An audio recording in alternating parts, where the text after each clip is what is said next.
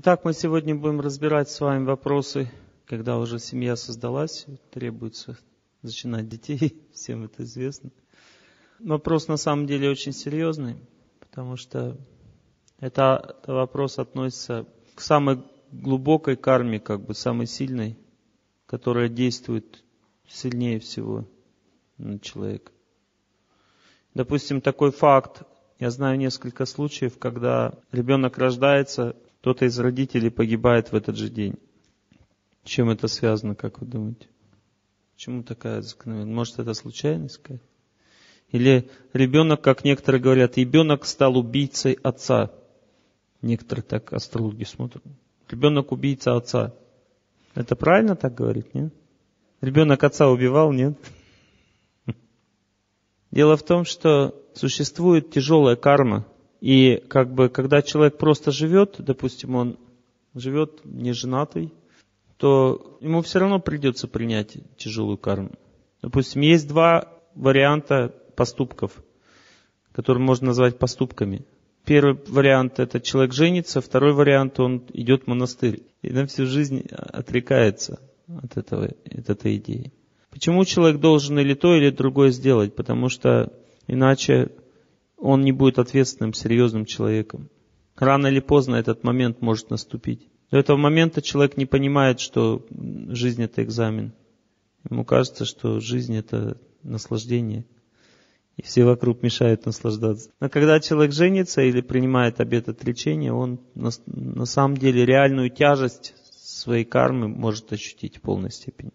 Это происходит не потому, что муж плохой, жена плохая, родственники плохие, а потому что так положено, так устроено в этом мире, что человек должен испытывать трудности, он будет испытывать трудности. Обязательно. В этом нет никакого сомнения. После женитьбы. Второй вариант это, ну не, не второй вариант, а вторая степень сложности это рождение детей. Новый виток тяжелой кармы включается, начинает действовать. И вы знаете, что когда ребенок рождается, наступает дурдом полный, да? И он длится года три, наверное. Ну, два уж точно. Невозможно оценить свое психическое состояние, невозможно что-либо понять, просто идет, жизнь начинает нести человека очень мощно. И он не может вырваться из ее лап. Я видел такие мощные потрясения у людей. Одна девушка очень благочестивая, верующая, родила ребенка. Ребенок ее с самого начала ненавидит, кричит у нее в руках отдает другим родственникам, успокаивается. Начала кормить грудью. Мне сильно молоко выделяется, очень много молока. Начала кормить грудью. Ребенок травится от ее молока. Покрывается сыпью там все прочее. Она не может с ребенком общаться, то есть ребенок живет у родителей и так далее. И таких примеров очень много, то есть как бы рождается ребенок, начинаются какие-то трудности серьезные. Астрология советует выворачиваться. Есть разные способы выворачиваться. Камни поставить, травками полечиться, день подобрать точно. То есть вывернуться надо как-то. Так, вывернуться, чтобы не, тебя не задело. Но не вывернешься, все равно заденет. Тогда вопрос э, заключается в том, зачем, зачем тогда все это нужно, астрология, там, планировать зачатие детей там, и все прочее. Дело все заключается в том, что Человек должен научиться подчиняться законам этого мира. И если у него настроение правильное, он хочет как бы спросить у, у истины этого мира, он хочет спросить, пожалуйста, покажи мне себя, покажи мне, что ты действительно есть, если я все буду правильно делать, покажи мне, что действительно работают эти законы, что они дают возможность мне получить лучшую судьбу, если я следую всем указаниям, правилам. Именно для того, чтобы вера у человека в высшие силы появилась, человек должен соблюдать все эти ритуалы. Когда зачинать, как зачинать и так далее. Там, что касается там четный день, нечетный день. Но есть еще другой момент очень важный. Он заключается в том, что есть еще умонастроение во время зачатия и поведение перед зачатием. Имеется в виду там определенная аскеза, лишение у родителей. Это серьезная вещь. Это действительно меняет карму. Если человек правильно настраивается, его карма меняется. Но настроиться правильно очень тяжело. Для этого надо быть очень сильным человеком, поэтому нужно заранее готовить себя, работать над собой. Видите, я как бы резко в скач пустился с самого начала. Есть много новеньких. Они вообще не знают, что можно как бы как-то влиять на этот процесс зачатия детей. Влиять можно, конечно, но сразу говорю, стопроцентного результат вам никто не гарантирует, потому что самой большой силой является психическая энергия нижних центров мужчины и женщины. Если женщина, допустим, сильнее, психические центры у женщины сильнее с самого начала, намного, то семья может сделать так, выбрать дни, там, пропаститься и все прочее. И какая-то вероятность рождения мальчика все равно будет в этом случае, но не сильно большая. А если у мужчины сильнее нижние психические центры, тогда очень трудно будет же девочку зачать. Такое бывает. Еще следует знать такую закономерность, что когда отношения только начинаются, отношения только начинаются, тогда всегда, даже если мужчина очень слабый, он будет сильнее женщины. Даже если он очень слабый, он будет сильнее. И когда отношения уже развились, то даже если мужчина очень сильный, все равно, скорее всего, он будет слабее своей жены. Так бывает чаще всего. И поэтому сначала первым рождается мальчик обычно, и вторым, второй рождается девочка. Иногда бывает наоборот. Но это означает, какие-то там противоположные процессы идут в семье. Мужчина как бы реабилитировался, у него сила появилась, у него период хороший наступил. То есть полного прогноза такого быть не может, но идея вот в этом заключается. Что женщина постепенно привязывается к мужчине все больше и больше в семье, а мужчина постепенно все больше и больше отвязывается от женщин. В этом заключается идея совместной жизни. Не то, что там он должен в конце концов сбежать от нее. Нет, так устроена природой просто. Потому что семья зависит от поведения, умонастроения жены. Будет существовать семья или нет. Женщина должна правильно выбрать правильный стиль поведения. Потому что в семейной жизни больше всего женская карма отрабатывается. Мужская в общественной деятельности больше всего отрабатывается.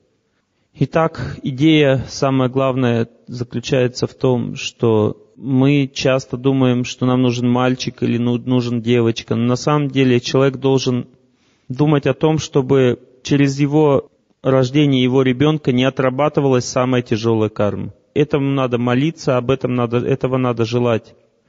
Почему? Потому что груз, который может навалиться в связи с рождением ребенка, может быть неподъемным. В результате человек лишается возможности что-либо сделать в жизни. Он просто погружается в эту карму, становится ее рабом.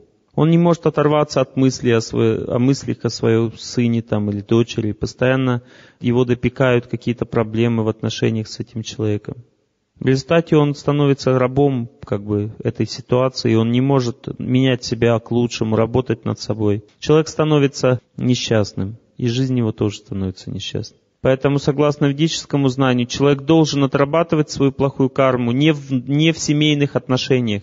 Надо постараться так сделать в своей жизни, чтобы отрабатывать в общественных делах каких-то там, в ответственности, которую ты на себя берешь, но не в семейной жизни. Тогда хоть какая-то стабильность будет в жизни. Тогда будет легче жить. Может быть, будет трудностей много, но жить будет легче в этом случае. Все равно. Потому что когда она в семейных отношениях плохая карма отрабатывается, невозможно, просто жизнь становится невыносимой. Человек не может, не всякий человек способен это вытерпеть. Очень тяжело. Поэтому, согласно ведическому знанию, именно умонастроение человека определяет, то есть карма, которая действует с прошлого, и умонастроение человека определяет это две основные вещи, которые определяют, какой будет ребенок.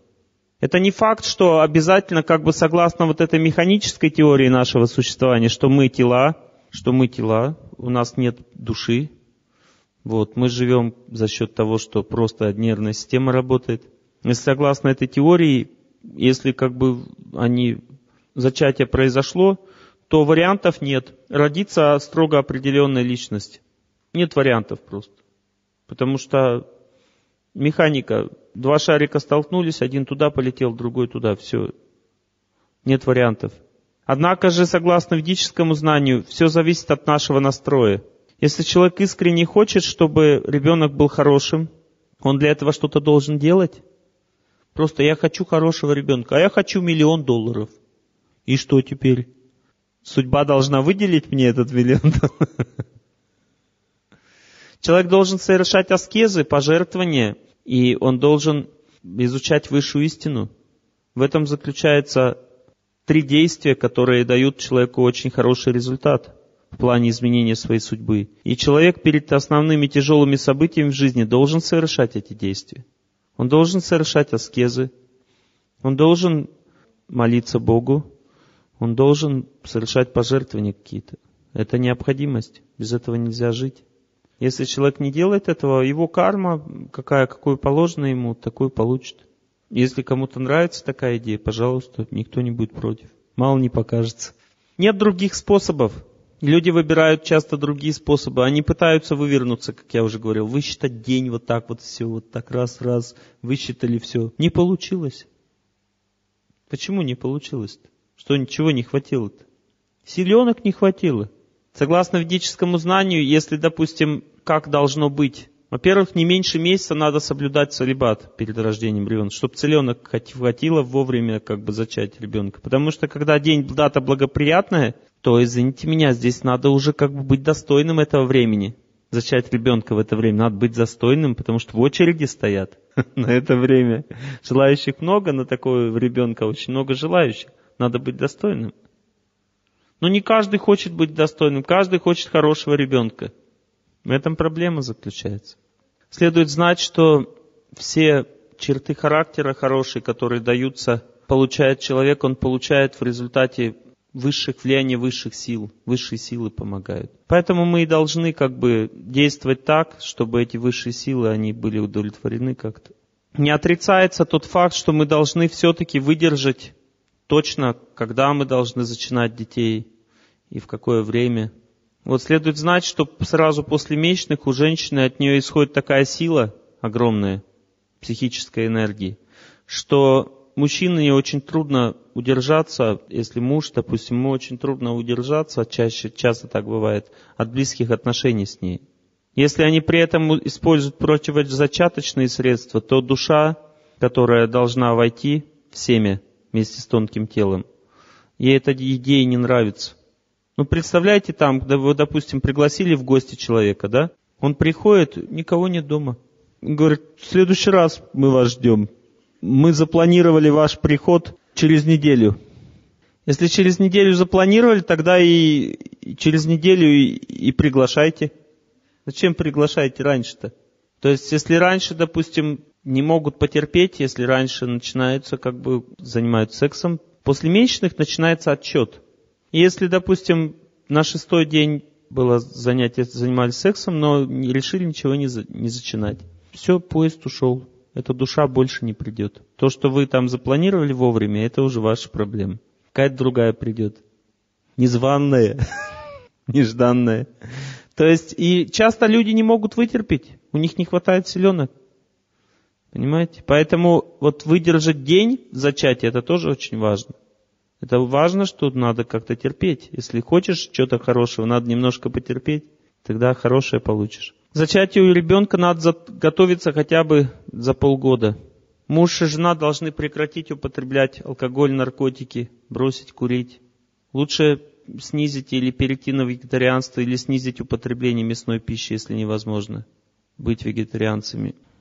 Следует сократить э, в какой-то степени, если можно, там, вредные работы – то есть, если, допустим, организм получает вред от этого, там, может быть, даже компьютер, следует как-то аккуратнее. Также бывают другие вредные работы, химия там и так далее. Надо стараться сократить. Иногда супруги чистят организм, это тоже бывает полезно. И что касается чисток, там клизм, чистка печени, там рвотные и так далее, панчакарма. Все это можно делать, но только в том случае, если вы уверены, что вам это уже раньше помогло. Именно те же самые процедуры в той же последовательности вы можете сделать. Если вам это помогло год, два года назад, если вы чистили организм полгода назад, этого уже достаточно, больше не надо повторяться. Если вы не знаете, что это такое, никогда не делали, лучше не рисковать, потому что если вы почистите организм неправильно, может быть и хуже, потому что перегрузка организма произойдет, он ослабнет, и вы не сможете нормально детей, нормального ребенка зачать. Нужно ходить в храм желательно в это время побольше, почаще. Перед зачатием следует знать, какой период у тебя идет, хороший или плохой. Если у тебя плохой идет период, то настроиться хорошо во время зачатия трудно, Поэтому, возможно, будут проблемы с зачатием ребенка. Даже если сам день зачатия благоприятный, но период идет плохой, лучше не рисковать. Если же вы уже в возрасте, как бы и вам надо срочно ребенка зачинать, иначе вообще не получите, тогда лучше не рисковать и зачинать раньше. Не надо ждать астрологов, они говорят, вот вам нужен ребенок, чтобы отрабатывать свою карму, хорошую, плохую, как это, дайте мне мужа, там песня есть такая, толстый или тонкий, это все равно. Там такая песня, хорошая песня, как уже все догулялось, дальше уже не уже все равно, толстый или тонкий. То же самое здесь, что если уже дальше уже некуда тянуть резинку, то надо зачинать ребенка без всяких... Вот видите, что уже может так случиться, что вообще потом не зачнете, уже поздно. Можно зачинать, значит, придется зачинать как можете, когда получится. Это важно тоже понимать, потому что сейчас у людей, у многих очень плохая карма на это. Если есть возможность, то лучше все-таки планировать зачатие и высчитать благоприятный день. Непосредственно перед зачатием принимается муж и жена, принимаются душ. Они должны натереться благовонными маслами, молиться Господу перед самым зачатием о том, чтобы ребенок был хорошим. Во время отношений должно быть как можно больше любви. Это, от этого количества любви зависит сила, жизненная сила ребенка. То есть, если он будет, будет много любви в отношениях, значит, он сильным будет. Если мало, значит, он будет слабым. Эта любовь не должна быть зверской, сразу говорю. Иначе ребенок будет тоже зверским. Она должна быть достаточно такой хорошей.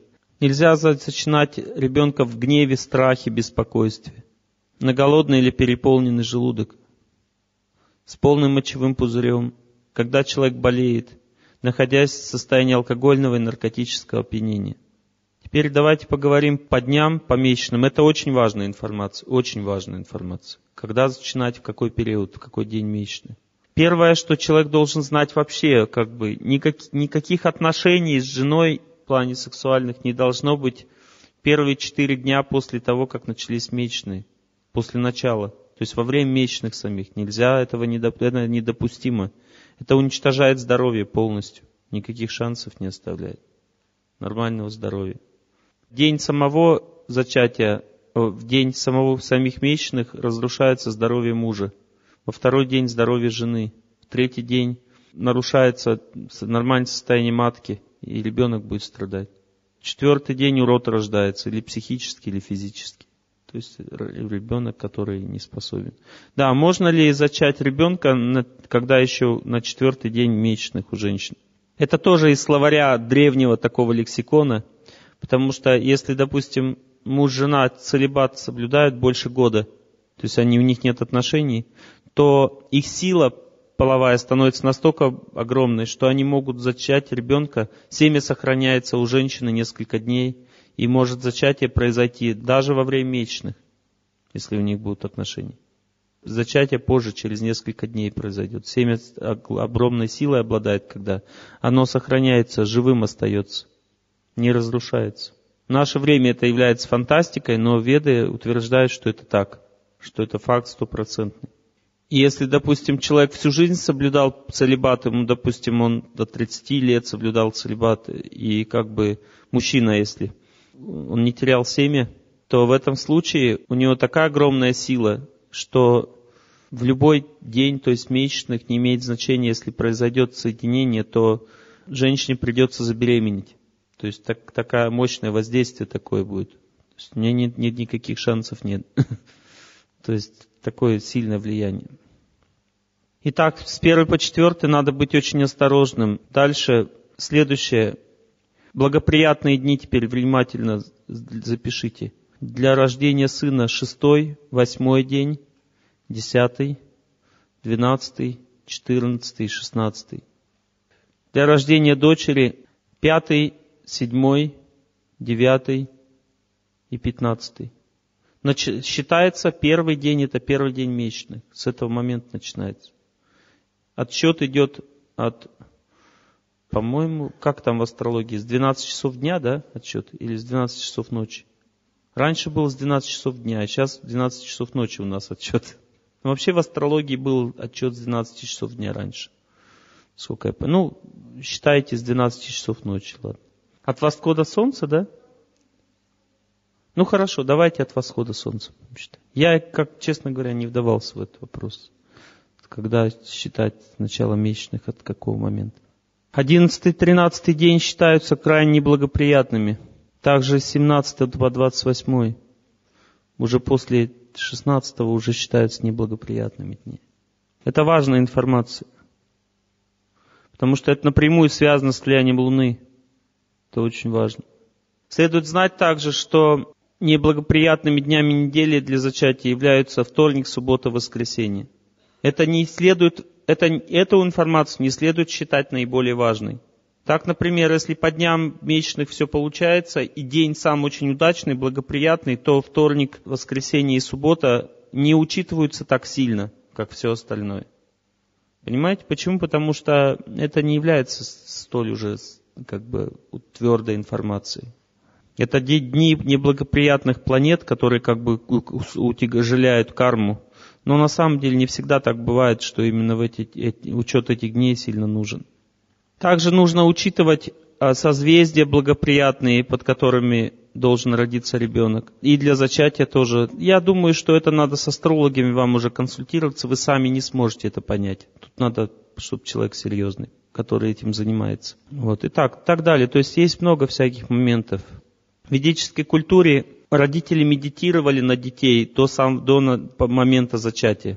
Так, например, выливался, выливалось изображение, допустим, мальчика, если хотели мальчика зачать, из золота, серебра. Это изображение красилось в красный цвет, и дальше оно опускалось в молоко, и женщина выпивала как бы это молоко.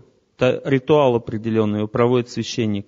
То есть там должна быть очень серьезная медитация. Цель ритуала – это повысить концентрацию внимания. Не просто там пощелкал, что-то постукал, как бы, и все, мальчик родился. Или пошептали что-то. Цель – это повысить концентрацию внимания на объекте, что тебе нужно понять лучше. Дальше существуют такие травы, которые усиливают влияние женской энергии или мужской.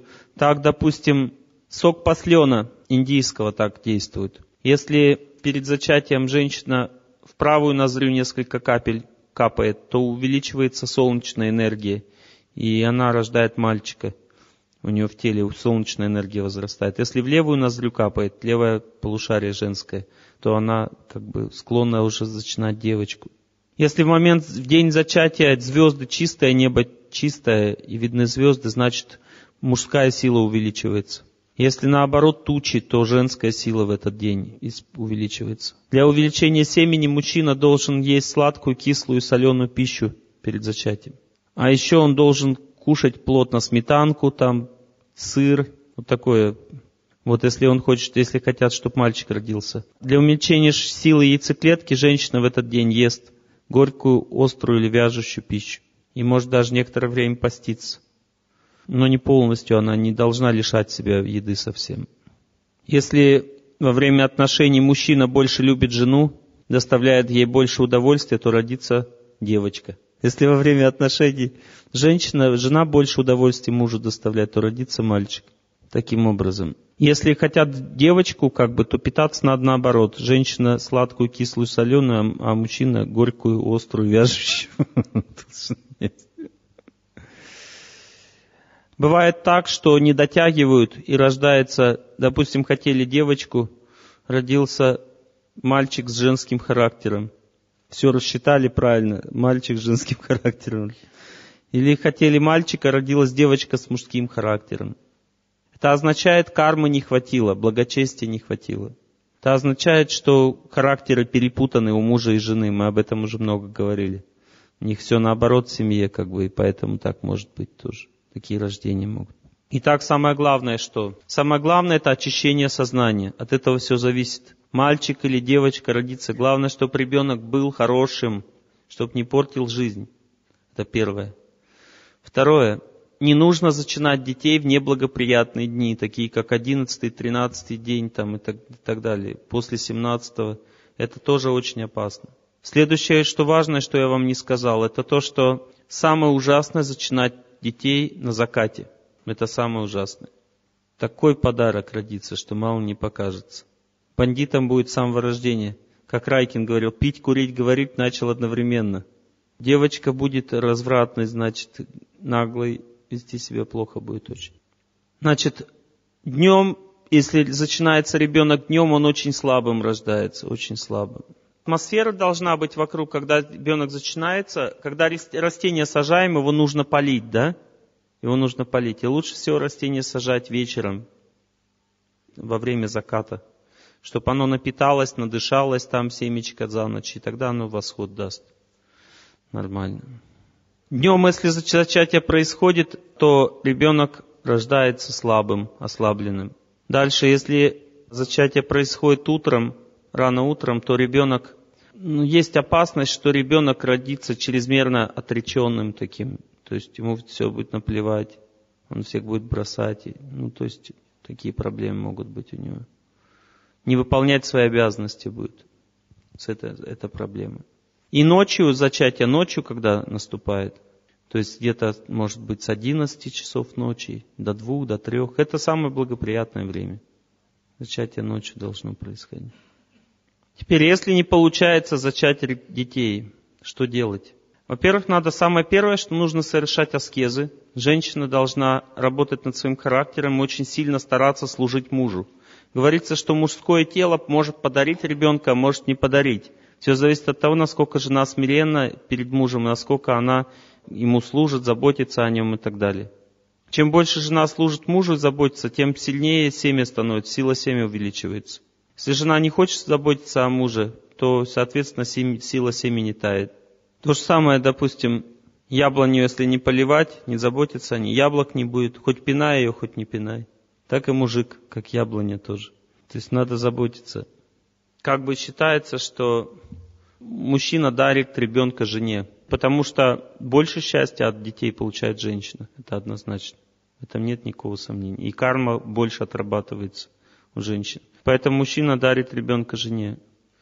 Это первое, что следует знать. Второе, что следует знать. Если ничего не получается совсем, то не нужно отказываться от лечения бесплодия. Но следует также знать, что если делаются, ставятся камни, там какие-то там травы подбираются, там еще что-то, климат, лечится климатом, зарядка и так далее. Если лечение происходит таким образом, что человек сам ничего не делает, для того, чтобы было хорошо, но при этом происходит зачатие, это значит, это будет медвежья услуга. То есть ребенок родится, но будет нести себе плохую карму. Если родители сами сильно стараются работать над собой, и, при, и также они получают милость, это именно милость от Бога, что они находят того врача, который способен им помочь, то в этом случае ребенок может родиться очень хорошим. Поэтому надеяться на кого-то и ничего не делать нет смысла. Самое главное в работе над собой, как я уже сказал, это работа над своим характером у родителей и правильная постановка отношений в семье. Это очень важно. Также следует знать, что ни в коем случае нельзя разочаровываться. Не нужно думать, что ничего не получится, что не будет детей. Это очень плохо. Этот настрой означает, что не хватает хорошей кармы. Надо поменять настрой. Для этого нужно общаться с людьми, которые имеют силу психическую, духовную. То есть надо в любом случае общаться, найти себе какое-то направление самосовершенствования в жизни, чтобы общение такое хорошее было. Потому что без силы разума невозможно зачатие нормально. Вообще, как бы сила семени зависит в основном от силы разума. Если человек силы разума не хватает, то силы семени не хватает. Поэтому девушки, которые не вышли замуж еще, надо смотреть, насколько ответственный парень. Если совсем безответственный, семя будет слабым очень. Если ответственность, сила ответственности большая, значит семя будет сильным. Мужчина должен смотреть, насколько жена обладает женскими чертами, то есть насколько она добрая, послушная, отзывчивая. Это гормональные функции женщины зависят от этих качеств характера. Так можно определить, будет дети или нет. Если жена такая характерная, а муж такой совсем ля-ля-ля-ля, как бы есть вероятность, что не будет детей. Есть вероятность такая. Конечно, он может прикидываться, как бы, но Опыт показывает, что поведение человека выдает в нем то, что он может, что чего не может. В любом случае, какие бы ни были муж и жена, они должны действовать так, как положено, и тогда силы в них нужные вспыхнут. дадут возможность сочинать детей нормально. Нужно ли лечиться от бесплодия? Нужно обязательно. Потому что может плохая карма нейтрализоваться. Но если человек не работает, люди не работают над собой, невозможно помочь. Лечение бесплодия, бесплодие по силе, по тяжести, трудности лечить бесплодие также тяжело, и столько же благочестия нужно у врача, чтобы вылечить, как и рак, допустим. Допустим, простой человек рак не вылечит, нужно благочестие врач, чтобы имел, тогда он может вылечить рак, потому что вместе с выздоровлением пациент получает веру в высшие силы от врача и означает, получает необходимость жить дальше. Почему человек умирает раньше времени? Потому что у него нет цели в жизни. В этом основная причина. Если он получает какую-то веру в свое сердце, тогда он может дальше жить, и его смерть откладывается на потом. В этом только смысл лечения от злокачественных опухолей. Другой способ вылечить нету. Точно так же зачатие детей тоже. Если человеку положено, как бы, ну, по карме не положено, допустим, он общается с возвышенными людьми, получает какое-то вдохновение в жизни, и тогда у него меняется судьба. Как она будет дальше действовать? Все что угодно может быть, даже пусть, пусть операция, но она будет уже успешной. Понимаете? То есть многие люди думают, что какие-то искусственные внешние мероприятия могут помочь. Если люди сами не поменялись, ничего не поможет. Ни операция, ни то, ни все бесполезно. Если когда-нибудь медицина изобретет такие средства, что всегда сто процентов будет зачатие, никаких шансов нет, чтобы его не было, значит будут рождаться уроды. Потому что выбирай одно из двух, если не хочешь работать над собой. Или рождается урод, или вообще ничего не рождается. Что выбираешь? Других вариантов нет. Почему человек не может родить потому что у него есть веские причины в судьбе на это. Или ребенок может быть очень ужасным, или ему не положено иметь счастье, материнство или отцовство. Вот и все, два варианта все. И оба варианта, они могут в полной степени проявиться. Не, не знаешь, какой из них будет. Никто не знает. Часто женщина не хочет просто зачинать детей. Не хочет просто рожать, ей не, не хочется детей иметь. Ее не надо заставлять, потому что есть риск, что может что-то плохое родиться. Но это не означает, что когда мужчина не хочет иметь детей, его не надо заставлять. Надо так к нему относиться, чтобы он согласился. Что надо очень правильно к нему относиться хорошо. Это означает, что жена экзамен еще не сдала. Она должна сдать экзамен на верность, служение мужу. Может ли семья жить без детей? Может, но для этого надо тогда ответственность брать за людей, за окружающих. Такая семья должна стать для всех мамой и папой должны стать такие люди. Они должны заботиться обо всех. Тогда можно не иметь детей. Только один способ. Или можно взять детей, допустим, на воспитание, если нет возможности зачать. Согласно ведическому знанию, ребенок может быть или от твоего тела, или просто ты его воспитываешь, это тоже считается твоим ребенком. Это не значит, что ты не мама, Согласно ведам, ты тоже мама и папа. Может ли у, человека быть две мамы? Может быть, веды говорят. Может быть даже семь. То есть нет проблем с этим. Мама не мама, мама. Если взяла ребенка, и он хороший, все, и растет, можно смело говорить, что ты мама, и никаких вариантов не может быть в этом. Не надо человека, ребенка обманывать, потому что мы не сами не понимаем, что такое мама, что такое не мама. Если твоя карма через ребенка отрабатывает, значит ты мама. Все. Понимаете, если так судьба устроила, не ты не воровала этого ребенка, как бы, а просто взяла законным образом или родила, то есть тогда в этом случае мама уже. И то же самое отец. Какие вопросы по этой теме? Как это суррогатно? То есть понравилась женщина, но чужая, да? Нормально, можно так, можно, да. Самое главное, чтобы женщина была порядочной, хорошей. А то такого подарка отдаст. Да. Надо, чтобы женщина хорошая была. Тело матери влияет на, на структуру ребенка. Ее настроение во время вынашивание беременности очень сильно влияет на состав психику ребенка, очень сильно влияет. Оно может или раз затормозить развитие этой души, или как бы улучшить. Это просто пересаживается ей и семя, и, как бы яйцеклетка. То есть самого процесса зачатия не было, акта зачатия не было. Это значит, что очень холодный ребенок может родиться, такой, знаете, все по барабану. Очень может холодный. То же самое кесарево сечение, то есть ребенок будет бояться трудностей всю жизнь. Ему трудно как преодолевать. То есть естественные роды, они помогают, это нормальный процесс, который дает хороший результат. Но если нет возможности естественным образом рожать, лучше рожать как можешь. И ребенок получишь такого, которого заслужил. Какие еще вопросы? Тот, кто, кого абортируют, это значит, что он сам делал то же самое в прошлых жизнях.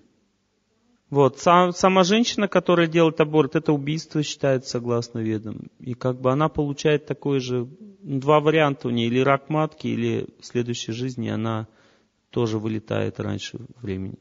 Согласно ведическому знанию, как бы душа ждет очень долго человеческого рождения. Это очень редкое рождение. И если она потом получает его и вылетает опять, то это очень большие проблемы психические.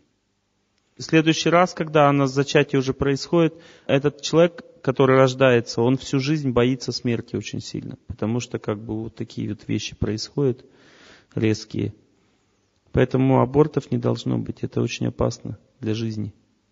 Душа, на самом деле, она третирует родителей гораздо раньше. Все зависит от того, какая душа. Если душа, допустим, благочестивая, она вызывает такие возвышенные чувства у родителей, и они сами само собой будут зачатие делать в нужное время. У них так получится в жизни. Им даже не надо ничего рассчитывать. Если они жили благочестивой жизнью. Если у них как бы благочестия не хватает, то душа начнет третировать их в ненужное время. И отношения их в это время будут очень сильно портиться между собой. Кого больше всего третирует душа? Она входит в мужчину и начинает влиять на женщину. И у женщины меняется психика в результате ее влияния. В ней появляется такое желание иметь ребенка там и так далее. А у мужчины появляется вожделение сильное. Понятно, да, как это действует? Давит на мозги, так по-русски, если сказать давит, этот, э, душа давит на мозги. Потом, когда происходит как бы во время самого процесса зачатия, в это время душа уже, уже непосредственно входит в семя, и потом оно входит уже в яйцеклетку. То есть влияние, связь, она может раньше возникнуть, гораздо раньше. Но именно в момент зачатия сначала она входит в семя, потом в яйцеклетку. Да? Во время беременности женщина должна, она должна вести себя как монахиня. Она должна отречься от всего материального, она должна думать только о Боге, должна читать молитву, ходить в храм. Она ничего никому не должна вообще в это время. Она не должна ни, ни мужу, ни, ни родителям, никому ничего не должна. Она должна только одно, чтобы у нее в сознании было счастье, как можно больше счастья. Она должна постоянно слушать духовную музыку, питаться благостной пищей, желательно еще освященной и так далее. Это нужно для того, чтобы ребенок, вот это время, 9 месяцев, самое главное воспитание детей. Самое главное время. Как женщина находится в каком состоянии, такой ребенок, такой как бы пуск, старт ракеты будет его жизни. То есть он стартует, если хорошо, знаем, ракета стартовала хорошо, весь полет нормальный. Плохо стартовала, все, приехали, значит. Вот это очень важно, да? Очень сильно связано. Следует знать, что плод, когда выносится, не надо есть острое сильно, жареное, кислое, там, соленое, нельзя пить спиртное, потому что это все непосредственно действует на плода. Он испытывает жуткие муки, потому что у него нет никакой психической защиты. Мать остренького поела, его там корчит, крючит, не знаю как, он потом будет злой на мать ходить всю жизнь когда она его вынашивала, когда она терпела лишения, муки какие-то, он не будет любить мать, он будет чувствовать какое-то вот отторжение. Запахи кругом, надо прощать запахом, не надо злиться. Вы не можете лишить себя, то есть избавить себя от того, чего вы не можете, правильно? Поэтому не надо обращать внимание сильно. Токсикоза означает, что женщина несмиренная. То есть у мальчика, у ребенка или у девочки есть характер. И мать сталкивается с этим характером внутри себя. Получается интоксикация. Она или токсины идут в нее, или в ребенка, одно из двух какое чье тело сильнее. Так как чаще всего детское тело сильнее, чем материнское по психике, то чаще всего токсины идут в материнский, в материнский организм. Поэтому женщина перед тем, как зачинать ребенка, должна выработать смирение сначала со своим мужем в общении. Тогда она может спокойно вынашивать ребенка, у нее не будет токсикозов, схваток, этих сокращать, матка не будет в тонус входить лишнего. В тонус входит, значит опять не смирение. Резус конфликт означает плохая карма уже вообще в целом плохая карма как бы на рождение детей. Есть вероятность рождения урода, слабоумного ребенка. Рождается раньше, значит, у матери не хватило лунной энергии выносить, нужна лунная сила. Нужна сила влияния Луны, означает, не хватает умиротворения у матери, беспокойства много в характере. он тоже беспокойным будет, ослабленным несколько в жизни. Надо ему заниматься хатха-йогой, закаливаться, чтобы снять эту ослабленность психическую себе. Выкидыша означает, что женщина по карме имеет плохой Марс, то есть она несмиренная, непослушная, истеричная, обидчивая и так далее. Да? А за аборт, кто, кстати, в семье у вас взял ответственность за аборт? Вот кто взял, тому и по шее, тот по шее получит. Если жена не хочет, допустим, аборт делать, а муж заставил, то муж будет кувыркаться, жена не будет. Если жена сама втихаря сделала, значит, она будет кувыркаться. А если они оба решили, обоюдно согласясь, тогда, значит, оба будут кувыркаться. Родители будут кувыркаться. Кто берет на себя ответственность, тот и кувыркается. Точно так же, как на войне. Если генерал сказал, идите и стреляйте в них. А солдат не может ослушаться, его самого расстреляют. Он идет, стреляет, все. Но он за это не несет ответственности. Он за это не отвечает. Это вот генерал будет это, за это отвечать. Да? Всегда, когда происходит что-то, виноваты мы сами. Никогда не бывает так, чтобы кто-то виноват, кроме нас. Если человек понимает этого, постоянно понимая это, человек имеет возможность полностью преодолеть всю свою плохую карму.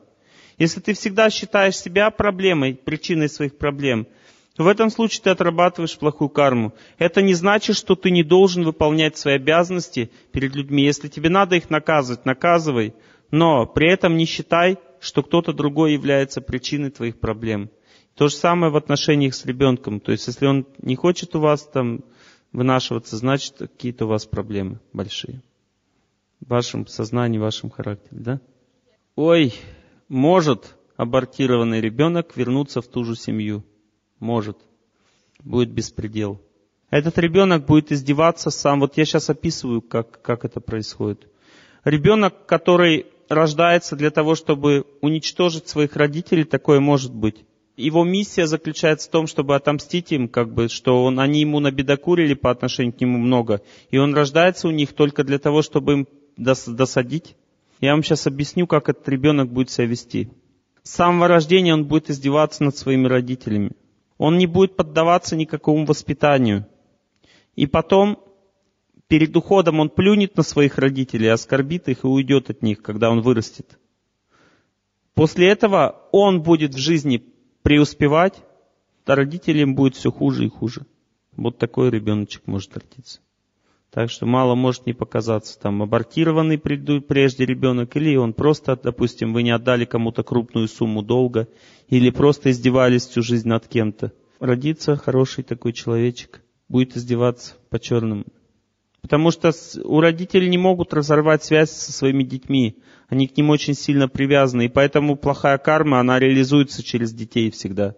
Почему именно в ребенке он должен родиться, а не в сотруднике? Потому что на сотрудника можно там сказать, да, мне нет проблем с ним.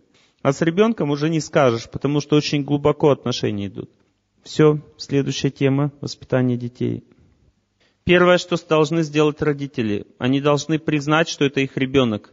Это очень важно, потому что некоторые родители не признают, они считают, вот, нежеланный, не хотели мы тебя. Надо признать, что это мой ребенок, это очень важно. Особенно отец иногда не признает. Мать как бы вынашивает, она признает, она мучает через муки, но часто отец бывает не признает. Даже может говорить, что он признает, но сам не признает в душе. Означает, не берет ответственность. Это очень ужасно. Это приведет к большим проблемам у ребенка дальше в жизни. И потом у родителей также. Может, он может всю семью такой ребенок развалить полностью. Допустим, мать признала ребенка, отец не признал. Ребенок привязывается к матери и уставит ей условия, чтобы он с нами не жил. Допустим, такое может быть. Это очень опасно. Следующее, что следует знать, это то, что готовиться к учебе ребенка нужно уже с самого детства, и нужно выбрать, понять, к какому типу ребенок относится из четырех категорий. Или он склонен к тому, чтобы учить других людей, как бы самому учиться. И воспитывать такого ребенка очень тяжело, потому что для, для его воспитания требуется родителям сильно работать над своим характером, чтобы он был успешен в жизни. Это, с одной стороны, это удача такого ребенка иметь, но с другой стороны, как бы надо быть очень, действительно быть достойным такого ребенка. Самая главная черта характера этого ребенка, он с детства стремится к истине, и как бы он честно, ищет честность, он хочет узнать, как есть на самом деле. Он будет очень и очень сильно стараться разобраться во всем, и он будет подмечать любую ложь в родителях и указывать им на эту ложь. Такой ребенок будет склонен как бы сам что-то объяснять с самого рождения. И будет изучать тоже, любить слушать внимательно, о чем говорится и так далее. Если ребенок склонен к изучению различных литературы, если он склонен работать над собой, если он не сильно склонен играться там во дворе, такой, то есть он, ведь поведение у него достаточно такое строгое в жизни. Это значит, что его надо, не надо его заставлять там делать то, что он не хочет, просто надо ему дать в этом направлении рост. В чем заключается плохая карма родителей? Если родители считают ребенка своей частью, как вот почка отпочковалась от камня, и другой камень вырос, это означает часть тела, как будто моего. Ребенок не является частью нашего тела. Это отдельная личность, которая рождается со своим характером. Родители должны понять, какой цветок у них родился, какого цвета. Если они дадут правильное направление, то этот цветок распустится и будет очень красивым. Если они сильно привязаны к этому ребенку и думают, это мой ребенок, я знаю, кем он должен быть, и с самого рождения этого ребенка начинают третировать, он не хочет это делать, но его заставляют вот в этом направлении действовать. Если ребенок вообще ничего не хочет делать, значит, как бы оболтусом родился, надо его заставлять, это факт. Это правильно. Но если у него есть желание чем-то заниматься, ему обрывают это желание говорят, занимаясь чем-то другим, все, эта семья будет несчастной. И родители будут несчастными, и ребенок будет несчастным. Дальше вторая категория – это когда дети склонны, то есть рождается ребенок, который склон, склонен защищать, руководить. Само по себе трудно понять эту идею, потому что все дети рождаются как бы очень капризными эгоистичными. И они все хотят, чтобы по-ихнему было. Но как определить, что родился именно ребенок, который будет управлять, руководить людьми, его надо этому учить. Чтобы понять это, следует знать, что такие дети склонны защищать. Только этой категории дети склонны защищать интересы других. Не только свои, но интересы других очень сильно, отстаивать их. Это значит, что он может быть руководителем, такой человек. Самая главная его черта характера это, это милосердие и стремление к справедливости, чтобы все было порядок, чтобы везде был. Он не выясняет, как понять, он не пытается понять, главное, чтобы порядок был для такого ребенка. Если не порядок, значит проблемы. Дальше третий тип детей, они склонны заниматься торговлей. Главная черта характера таких детей – это общение, они очень общительны. И также следует знать, что они склонны обмениваться дарами, как бы принимать подарки и отдавать. Такие дети, то есть очень любят дарить что-то кому-то, давать. И в этом процессе видят большое счастье. Когда они чуть-чуть подрастают, начинают все коллекционировать, все, что под руку не попадется. Это означает, что вот, вот этот тип сознания бизнесмена. Дальше, четвертый тип – это дети, которые любят мастерить и делать какую-то практическую работу, там конструкторы всевозможные и так далее. Эти дети должны заниматься какой-то специальностью и должны, их самая главная черта характера, которую они должны выработать, это способность подчиняться, послушание. Без нее они не будут успешными в жизни. Есть еще пятый тип характера, когда ребенок не раскрылся, он и с рождения не знал, чем заниматься, и занимаясь чем-то, он не хотел этим заниматься, и потом вырос, ничего не знает. В этом случае эти дети должны делать то, что им судьба дает. Унитазы мыть дает судьба, надо мыть унитазы, значит, с удовольствием стараться это делать. И получать свою зарплату за это. Постепенно сердце очищается у человека, и он уже понимать начинает свое предназначение. Если такие люди выкаблучиваются и говорят, это я не хочу делать, мне неинтересно, это не буду, тоже неинтересно. И это мне неинтересно, и то неинтересно. Я подожду еще немножко, какую работу себе выбрать получше. Это означает, что человек ничего хорошего в жизни не ждет, потому что у него психика еще не раскрыта для того, чтобы делать что-то в своей жизни. А он как бы хочет подарок от судьбы, но этого подарка он никогда не получит. А если получит, то только для того, чтобы во всем разочароваться потом. Как определить, что ребенок знает, что ему нужно в жизни? Он очень сильно стремится сам к тому, что ему нужно. И все препятствия преодолевает с большим как бы рвением. Это значит, что ребенок знает свое предназначение в плане специальности. Он чувствует, понимает. Если он ждет, когда родители как бы его куда-нибудь там дадут деньги поступить куда-то, еще что-то. Родители, прежде чем финансировать учебу ребенка, должны его проверить. Они должны ему сказать, что ничего не получишь, сам поступай там, как можешь. И если ребенок действительно прилагает усилия, старается и все прочее, то потом можно его финансировать, в принципе. Но если он думает, а, я не буду поступать, мне все равно. Ну и пусть тогда не поступает. Вот чем хочет, пусть тем занимается, лишь бы шары не драл на улице. Если человек, ребенок во дворе растет, он ничем не занимается, то он фактически отдан на растерзание шакалам. То есть он просто будет уничтожен временем. Он станет наркоманом. То есть придет время, 13 лет, и все, из него жизнь сделает котлету, из этого ребенка. Потому что сейчас среда, как бы, в которой дети растут во дворе, она очень неблагоприятна в целом. И редко бывает, когда она бывает благоприятной. Поэтому родители, обязанность родителей организовать ребенку правильное общение. Они должны понять его интересы и по интересам отдать ему, чтобы люди хорошие были там, чтобы общение было правильным. Если в секцию какую-то надо смотреть на того наставника, преподавателя, кто там. Если он маразматик, то а секция хорошая, нельзя отдавать такую секцию ребенка. Лучше отдайте секцию плохую, где руководитель очень хороший человек. И это будет стопроцентное попадание. Стопроцентное попадание. Это очень важно знать, что качество руководителя это важно, самое важное, да? Склонность к искусствам бывает разной. Иногда человеку просто нравится рисовать, неважно что. Это четвертый тип. Если человек хочет рисовать для того, чтобы картины продавать, это третий тип. Если он хочет организовать студию художественную, и чтобы все рисовали там, помочь, так сказать, художникам, то это второй тип. И первый тип это когда человек рисует о Боге что-то возвышенное, он не будет дешевиться. Вот первый тип означает, что он никогда не будет за деньги рисовать. Вот эти люди первого типа, они не для денег живут. Им деньги наплевать.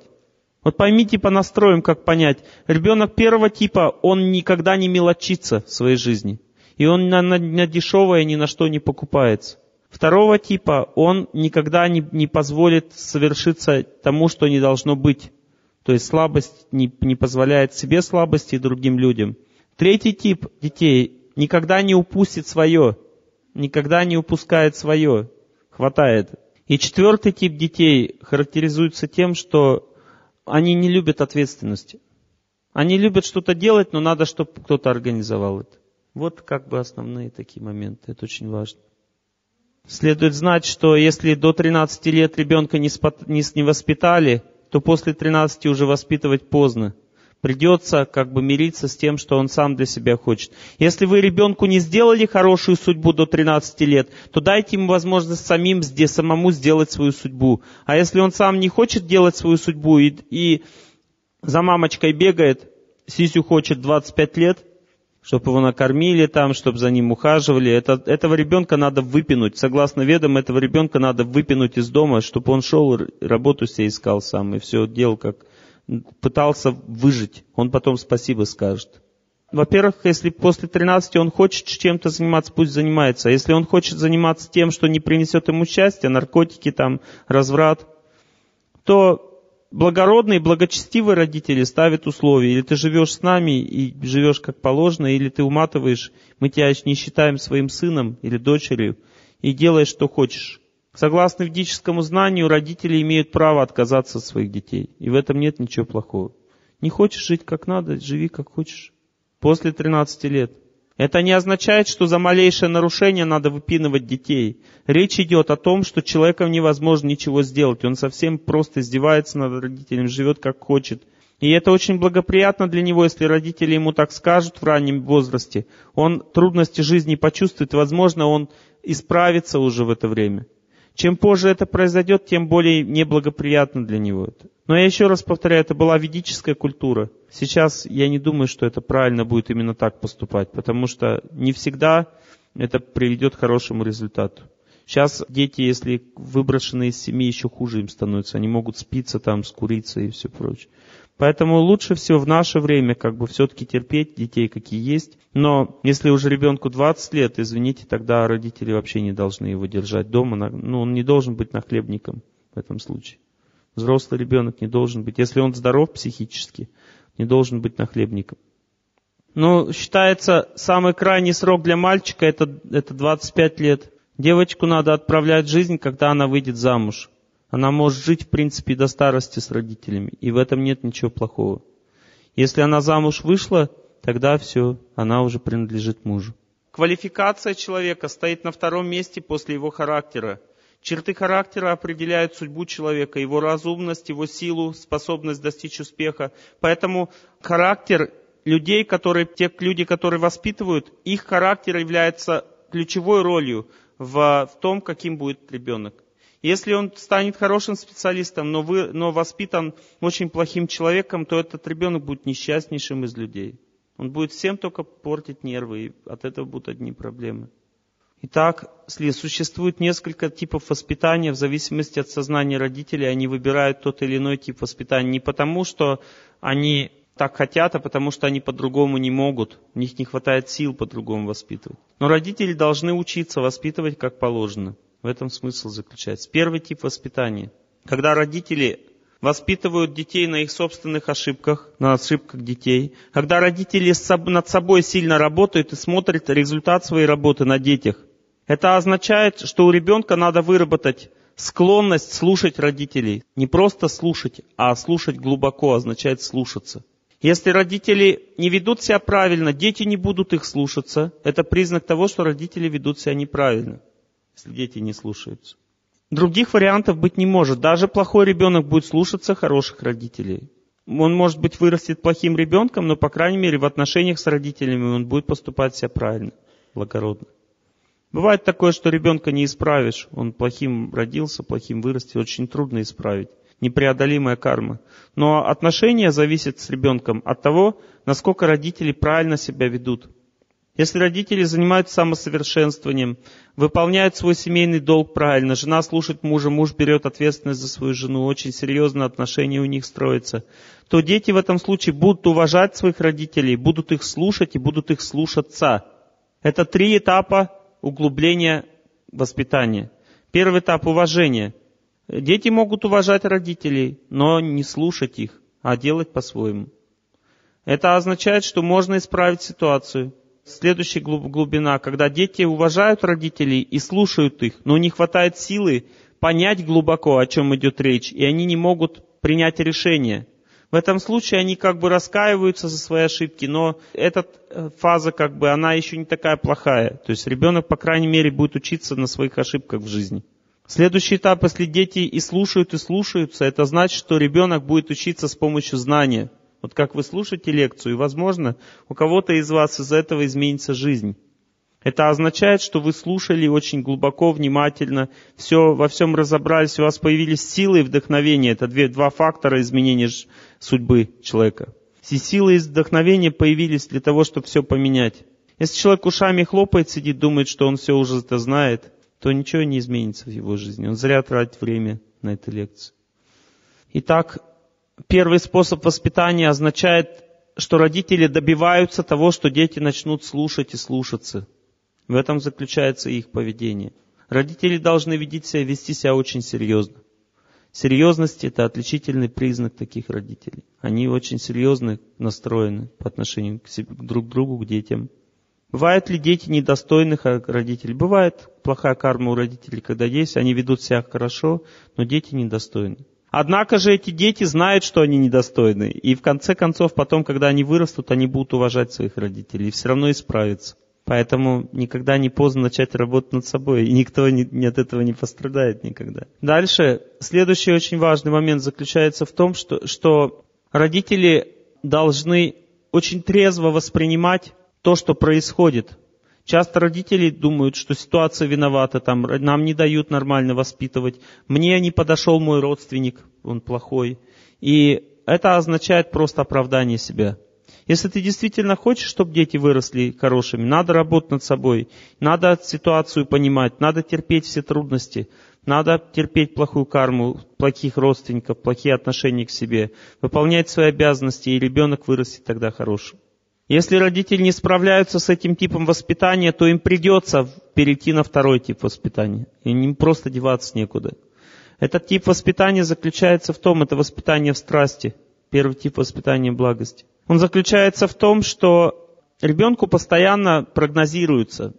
Если ты вот так поступишь, то ты это получишь. А если так поступишь, то это получишь. Думай, выбирай. По 5 рублей, но большие, по 3 рубля, но маленькие. И постоянно, то есть родители с ним так размышляют. Уроки хочешь, хочешь конфетку там, уроки учи. Хочешь то, делай то. Хочешь это, делай это. Что получается с ребенком в этом случае? Он вырастает, ум, может быть, вырастет умным, но не разумным. Разумным он не вырастет. Почему? Потому что разум означает, что человек сам принимает решение, как действовать. Когда ребенок слушает, слушается, у него, у него голос совести работает. Он может, ему хочется делать, может быть, ему хочется по-другому делать, но ему придется делать как надо. Знаете, в чем заключается признак неразумного человека? Когда ему говорят, делай так, он не хочет делать как надо. И втихаря не делает как надо. Это означает глупец. Отличительная особенность таких людей заключается в том, что они искренне верят, что они очень разумные. Или тем более, если он не втихаря не делает как надо, а в наглую, то это еще больше глупец, значит. Глупец номер один. Кому он роет яму? Конечно же, самому себе. Родители отработывают плохую карму, а ребенок, он ее копит. Не копит, он как бы ведет себя так, как это его поведение запрограммировано будет жизнь. Но родители могут изменить поведение ребенка, если сами будут меняться. В этом смысл заключается отработки кармы. Если родители раньше 13 лет отработали плохую карму, и ребенок, допустим, недостоин таких родителей оказался, то он будет их слушаться, вести себя хорошо, получит знания, а потом в жизни он как бы окунется в проблемы и потом выйдет из них победителем все равно. У него появится сила жить как надо, родители дадут ему эту силу.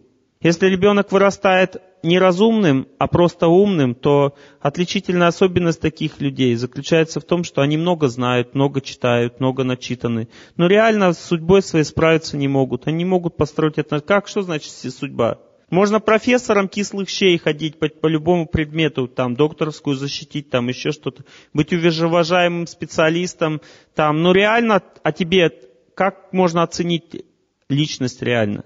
Нужно оценить, какие у него дети, какие отношения в семье. Если отношения в семье хорошие, дети хорошие, значит человек тоже хороший. У него сила есть справиться с плохой судьбой. У всех тяж... семейная жизнь для всех тяжела. Но одни могут с ней справиться, другие нет. В этом заключается сила человека. Будь ты хоть семь пядей во лбу там и все прочее, не имеет значения. Если ты не можешь вести себя в семье нормально, значит ты не имеешь силы разума. В этом вся проблема заключается. Потому что только разумный человек способен справиться с семейной кармой, с тяжелой. В этом заключается главная идея. Дальше, следующий момент очень важный. Этот второй тип воспитания в страсти заключается в том, что родители не могут терпеть недостатков детей. До какого момента нужно терпеть недостатки детей? Недостатки нужно терпеть до того момента, пока дети не начали вести себя беспредельно. А дальше нужно так стукнуть им по голове, можно психически, можно даже побить мальчика, допустим, можно побить ремешком под зад. Чтоб мало потом не показалось. И больше не надо этого повторять наказание. То есть наказания не должны быть частыми, они должны быть сильными и решительными. В этом смысл заключается, чтобы пробило. Вот. И не нужно здесь скупиться. В основном детей надо терпеть. Человек не может исправить свои недостатки сразу, поэтому ему надо дать нормальные условия для развития чтобы он чувствовал себя свободно. Но если ребенок начинает наглеть, надо терпеть до какого-то момента. Потом так ему сделать, чтобы мало не показалось. Когда он уже совсем нагло себя ведет. В этом заключается сила родителей. Когда ребенок видит, что родители так себя ведут, он не будет наглеть слишком сильно, он будет бояться. В этом заключается смысл, заключается смысл воспитания. Когда родители в страсти детей воспитывают, они не могут их терпеть не могут терпеть их недостатков. Они кричат по малейшему поводу, ругаются постоянно. Это значит, что они привязаны к счастливой жизни. Они не понимают, что надо быть привязанным к тому, чтобы карму свою отрабатывать. Тебе все равно придется отрабатывать карму. Но если родители не могут терпеть, они постоянно допекают своих детей. И запас хороших отношений исчерпывают. В результате дети перестают слушаться родителей, потому что родители слишком много постоянно указывают на их недостатки. В этом заключается как недержание мочи, знаете, такой. Описался, обкакался. Родители не должны описываться и обкакиваться. Почему? Потому что в этом заключается родительский долг. Надо иметь силу терпеть чужие недостатки. В этом заключается идея воспитания. Для того, чтобы эта сила появилась, нужно, чтобы сила приходила откуда-то, нужно правильное общение, нужна молитва, пожелание всем счастья, там что-то нужно делать, подпитывать себя энергией, силой какой-то психической. Иначе откуда она придет? С работы сила не приходит, она только отнимает работу силу. Телевизор тоже силу не даст.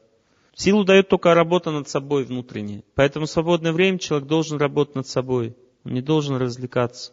Жизнь на самом деле это не развлечение, это экзамен. Не все люди это понимают. Следует знать, что ребенку не, на, не нужно указывать слишком сильно на оценки, которые он получает. Бывает так, что ребенок не может выучить математику на 5, но он старается, учит, и он получает 3. Надо его очень поощрять внутренне за это. Почему? Потому что он реально не может математику учить. Я, допустим, не мог английский выучить. Я не мог просто его выучить. Все, у меня не было возможности внутренней. Я старался, учил, учил, но я не мог ни в школе, ни в институте. Я по английскому экзамен сдавал таким образом в институте. Я занимался бальными танцами и станцевал там танец. Мне поставили 4 балла. До свидания. Все.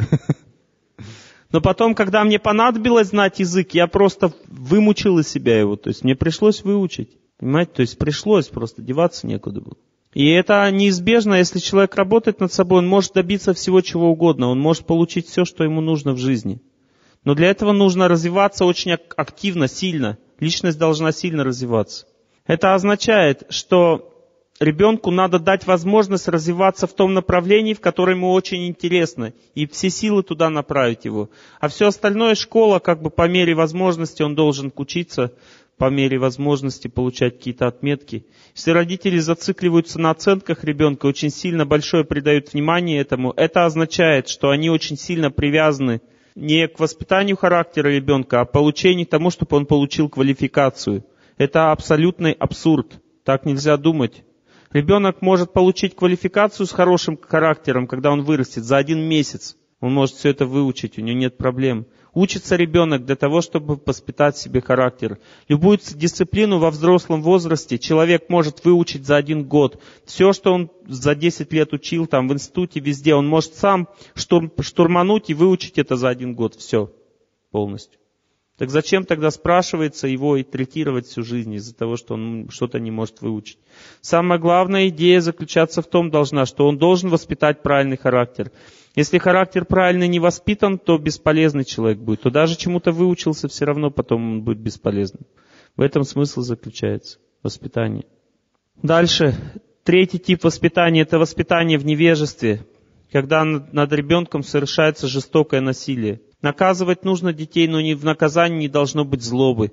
Если родители со зверелым видом наказывают детей, бьют их по-зверски, бьют или наказывают тоже очень плохо, ведут себя плохо очень. Или наоборот спаивают их, там наркотикам приучают. Это самая ужасная карма. Это означает, что эти дети станут причиной гибели своих родителей. То есть эти дети, раз родители так становятся... На самом деле настоящая жизнь это работа над собой. Когда человек лишен с детства этой возможности, то он не живет, он просто как растение. Поэтому родители, которые так ну, неправильно, как бы жестоко относились к детям, они потом, дети эти, станут убийцами своих родителей в этой или следующей жизни. Они их доконают просто. И это будет неизбежно, очень тяжел, тяжелая карма, сверхтяжелая карма. Поэтому надо быть очень осторожным, чтобы друг во врага не превратился.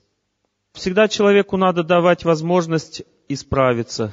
И также детям. Это очень важно. Дальше четвертый тип воспитания – это безличностное воспитание. Как живет, пусть так и живет. Ну, сам воспитается, что. Все так растут, как могут. Бабушка воспитывает, дедушка воспитывает, пускай. Если бабушка и дедушка воспитывают, родители не воспитывают, что получается? Чем старше человек, если бабушки, дедушки, им скоро рождаться в новом теле. Они сильно привязаны к молодым телам. Очень, очень в это время. Чем старее человек, тем больше он детей любит. Просто эта любовь становится до беспамятства очень сильной потом, к старости. И, и дедушка, бабушка очень сильно балуют детей. Это их как бы, это их прерогатива. Они не могут к ним относиться строго в полной степени. А если они строго относятся, то они начинают на них злиться. Потому что степень родства не такая сильная, как у родителей с детьми. Поэтому могут ли бабушки, дедушки воспитывать? Если деваться некуда, то могут, но все равно родители должны взять ответственность за детей. Они должны следить за воспитанием. Если этого нет, значит, извините меня, ничего хорошего из этого тогда не получится. Родители им все равно, какие дети. Дети вырастут, значит, несерьезными. Будут проблемы у детей с разумом, неразумные. Это безличностное воспитание. Дети такие становятся с холодным сердцем вырастают. Родители не придают как бы значения их общению с ними, то дети с холодным сердцем вырастают. Следует знать, что в разном возрасте дети имеют определенные склонности к определенным действиям. И не нужно это считать типом ребенка, это нужно считать этапом его развития. Так вы можете заметить, что ребенок в какой-то момент начал сильно интересоваться рисованием. Он хочет рисовать все время. Надо дать им возможность рисовать. Дальше, если он захотел в какой-то момент еще чем-то заниматься, там, развиваться спортом, там, заниматься и все прочее, надо дать им возможность заниматься. Не надо думать, что это тип личности определяется этим занятием. Это просто идет развитие. Это очень важно понять. Тип личности определяется по чертам характера, по поведению человека, потому что я вам уже сказал. Если ребенок войнушку хочет играть, не значит, что он руководителем должен стать. Это неправильно. Любой мальчик в детском возрасте хочет играть в войнушку. Такова природа мужская. мужская. Вот, любая девочка в молодом возрасте любит играть в куклы. Это не значит, что она всю жизнь дома должна сидеть.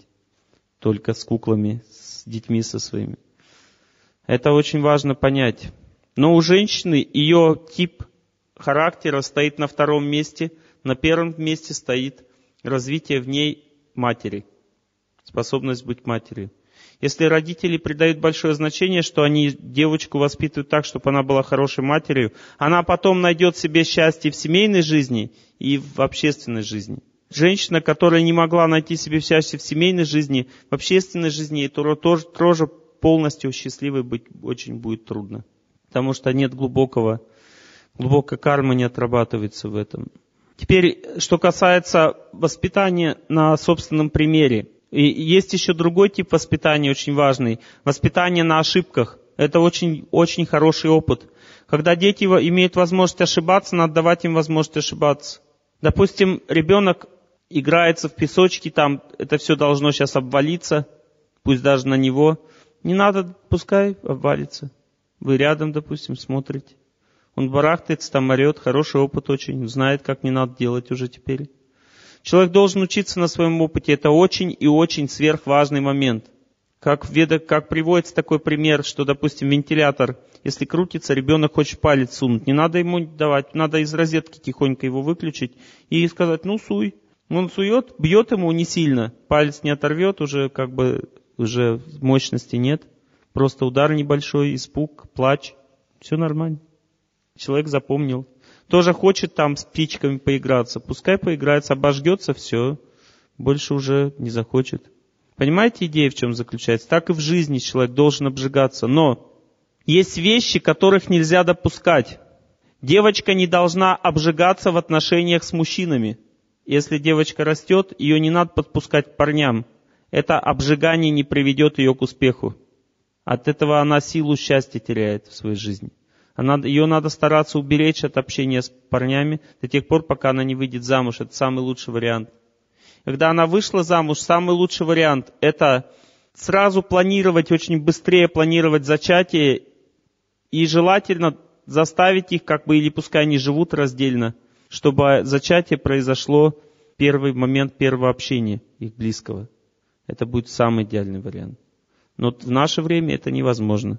Почему? Потому что дети не слушаются родителей. В ведические времена дети все делали, как родители хотят, скрипели зубами, но делали, потому что по-другому будут считать их как бы несерьезными людьми. Сейчас все наоборот, если самостоятельность ребенок проявляет, часто общество это поощряет. Особенно их друзья говорят, о, молодец, правильно. Это означает глупость, глупая цивилизация у нас, нет серьезности. Особенности воспитания мальчиков и девочек Мальчиков следует наказывать серьезно, вырабатывать в них ответственность. Девочек надо учить словами, общению. Де, девочка должна научиться слушать. И у нее природная склонность к этому есть. Если девочка слушает, ей надо объяснять. Если она понимает, пускай пытается исправиться. Если она не понимает, ее надо наказывать уже лишением общения, то есть не разговаривать с ней, так ее надо наказывать. Лишение свободы, там в угол ее ставить, это уже самый крайний способ, и он не всегда нужен. Если использовать с девочкой воспитание девочки крайние способы наказания, то ее характер грубеет, становится очень жестоким. С мальчиком надо использовать сразу надо вести себя очень решительно. С мальчиком не надо играть в эти, в поддавки. Или вообще не обращать внимания на то, что он делает, или сразу его наказывать серьезно. И мужчина должен этим заниматься, женщина не может решительно наказывать. Ребенок реально должен бояться своего отца. Мальчик должен бояться своего отца. Он должен его любить и одновременно бояться. И в семье должно воспитывать, уважение к отцу должно культивироваться. Мать должна оказывать почтение своему мужу. Вот. И ребенок, когда это будет видеть, он будет бояться своего отца, и тогда ребенок будет послушным. Разумность дает отец ребенку. Девочка получает послушание через того, то, как она видит, как мать относится к отцу. Если мать очень смиренно относится к отцу, девочка тоже смиренно вырастает, и у нее будет счастливая семейная жизнь. Если она видит прям противоположный результат, то и вести себя она также будет тоже в семье своей. Мальчика можно щелкать по заднему месту, там, наказывать его. Не надо кулаками наказывать детей. Можно ладонью, можно там хворостиной, но кулаком нельзя наказывать. Это означает отторжение от себя. Когда кулаком кто-то бьет, это нежелание общения, то есть отторжение. Детей нельзя бить кулаками. Когда по заднему месту отец бьет, он должен успокоиться. Сам отец должен успокоиться. По-доброму начать относиться к ребенку. Только после этого щелкать его. В этом случае он всю дурь из него выбит. А если он со злостью это делает, щелкает, то он в него дурь забьет. Наоборот, если бы даже не было дури, то дурь забьет. Но звереет, ребенок станет зверским. Как бы. Если правильно наказывать ребенка, он обмекает и раскаивается. Самый лучший вариант. Обмекает и раскаивается. Второй вариант. Обмекает, но не раскаивается. Значит, надо углом как бы закончить, в угол поставить. И дойдет постепенно. Вот. Если ребенок не обмекает, не раскаивается, а звереет во время наказания, значит метод наказания выбран неправильно, и последствия будут очень плохие такого наказания. Доверие, ребенок перестанет доверять своим родителям, такое возможно. Бывает, ребенок пытается пересилить родителей, чтобы, ну, как бы, стать сильнее и делать по-своему. Таких детей надо обламывать очень сурово. Если ребенок хочет как бы независимости, но он же зависим, правильно? И он хочет по-своему жить совсем, то надо серьезно к этому относиться. Это очень большая опасность. Такой ребенок может вырасти пьяницей, наркоманом, там еще кем-то. То есть ужасные последствия. Потому что этот человек не будет понимать, что такое надо. Он будет всегда понимать только одно, что он хочет. Ему что-то хочется, хоть убей его. Это значит так надо, он будет думать. Абсолютное отсутствие разумности. Ребенок должен знать, что прежде всего надо стремиться к тому, что надо, а не к тому, что хочется. И, кстати сказать, про взрослых людей то же самое. Человек всегда должен понять, что прежде всего надо научиться делать не то, что хочется, а то, что нужно. А это делать очень трудно, тяжело. Человек должен вымучивать из себя эту возможность, так с таким стать. Когда он достигает этого, он становится очень разумным. В этом смысл жизни человеческой заключается разумной жизни. Чтобы сохранить индивидуальность ребенка, для этого надо давать ему полную свободу развития в том направлении, в которого, которое ему интересно. Смотрите, если ребенок хочет кушать мороженку, допустим, хочет наслаждаться тем, что ему оказывают почести какие-то, и хочет наслаждаться своими знаниями, там, допустим, показывать, что он очень умный, следует ли это поощрять? Ни в коем случае. Никогда. Это означает убить его просто, убить в нем разумность в этом человеке. Если человек хочет, ребенок хочет делать то, что полезно, ему нравится что-то делать для людей, но при этом он проявляет какие-то свои недостатки, то поощрять это обязательно нужно. В этом нет проблем. Главное, чтобы на, месте, на первом месте стояло служение. Понимаете? Допустим, ребенок что-то сделал и загордился этим, начал хвалиться. Ну, в принципе, нельзя его за это ругать можно как бы подшутить над ним, но ругать нельзя, потому что это он поступает правильно. Надо поощрять то, что он сам хочет заниматься своим делом. Но нельзя поощрять то, что он хочет делать для себя. Допустим, некоторые думают, что моя природа, допустим, моя природа, чем я должен заниматься? Я должен играть во что-то. Я должен кушать сладкое. Должен сексом заниматься. Это моя природа. Это не природа, это животные инстинкты. Природа человека определяется с помощью того, что он полезного может сделать другим людям. Вот это означает природа. Если он делает что-то, но никакой пользы от него нет, то значит это не является природой его. Если человек хочет в себе привилегий и думает, что в этом заключается его природа, то это означает, что это полное заблуждение. Это не является его природой. Если человек хочет власти, допустим, но реально этого не заслуживает, это не является признаком его природы. Власти может и глупец хотеть. Нет проблем. Признаком природы являются его положительные черты характера. Так, у тех первой группы детей признаком его природы является, как я говорил, стремление к истине, к честности и правдивости. Второй группой людей является склонность быть милосердным, заботиться о людях. Третья группа людей означает склонность быть щедрым, бескорыстно что-то давать. И четвертая группа людей – это склонность что-то делать с любовью, трудиться с любовью. Вот это признаки основные природы как бы понимания вещей. Следующий принцип. Цветок характера ребенка не раскроется, если семья будет эгоистичной. Характер раскрывается в атмосфере отсутствия эгоизма. Поэтому, особенно когда родился ребенок, родители должны как можно больше отдавать. Они должны жить для других, должны приглашать на обед себе гостей обязательно, чтобы их кормить. Должны кормить нищих, кормить птиц. Должны учить ребенка кормить его друзей, чтобы он их угощал постоянно чем-то. Они должны стараться как можно меньше корысти в семье, чтобы было. Обязательно надо жертвовать что-то там в храм, если вы верующий человек. Если не верующий, значит еще куда-то там. Ну, это должно быть, хотя бы чуть-чуть, копейку какую-то человек отдаст. Уже очень важно. Почему? Потому что дети от этого вырастают бескорыстными. Понимаете? А если они вырастают бескорыстными, характер в полной степени может раскрыться. Если ребенок эгоистом вырастает, его характер, он не может раскрыться, ему мешает бутон этот эгоизма. Его надо разбить ему сначала в жизни такому ребенку самому. А опыт у него будет горьким, потому что он будет хотеть все на себя стянуть, а как бы а окружающая среда от этого сопротивляется только.